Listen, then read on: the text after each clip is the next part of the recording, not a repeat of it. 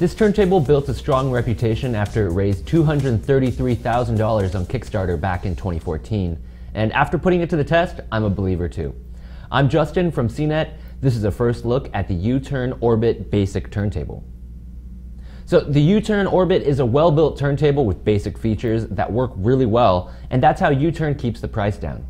There's no extra stuff on here like a quartz lock or auto return or USB transfers. It's a belt drive turntable, which means it relies on this elastic belt that connects the motor to the platter, which rotates the record. It's kind of hard to believe that the Orbit is U-Turn's first turntable too. The whole system is really well thought out and it's easy to set up. It comes with a needle already installed, the tone arm is balanced, and the tracking force is already calibrated so you don't have to mess with any of that.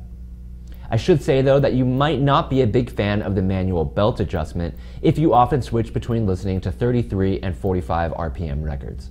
You have to change the position of the belt on this pulley every time, so that might be a hassle.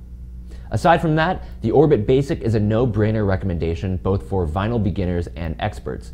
Just be sure to check out the Turntable Builder app online before you buy.